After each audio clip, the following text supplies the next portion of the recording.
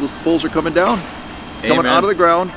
They've been up here since before the Beatles were singing songs. And today, on November 30th, the feast day of St. Andrew, they're going gone. It's going to look beautiful. Hallelujah. Soak this in. Soaking it in.